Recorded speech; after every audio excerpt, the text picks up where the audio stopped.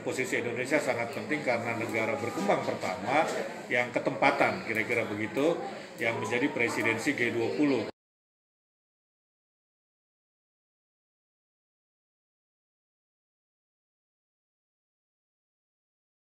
Ya, ya sangat penting. Ini adalah momentum, ini adalah peluang karena 20 tahunan ya maksudnya kita baru bisa mendapatkan presidensi lagi itu 20 tahun kemudian. Dan posisi Indonesia sangat penting karena negara berkembang pertama yang ketempatan kira-kira begitu yang menjadi presidensi G20 karena itu kita harus menunjukkan dan ini sesuai dengan arahan presiden kita adalah penyelenggara yang baik begitu ada sukses penyelenggaraan dalam bahasa presiden. Dan sukses penyelenggaraan itu presiden menginginkan yang konkret.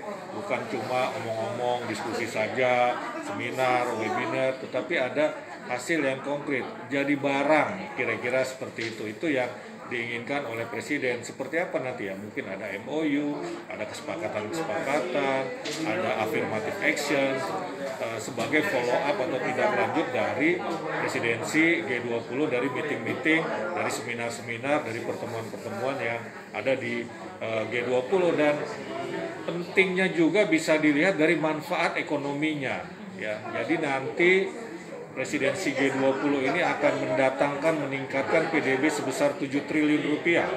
Ya, PDB ini e, dari mana? Dari belanja negara untuk e, presidensi G20. Ini akan memutar roda ekonomi.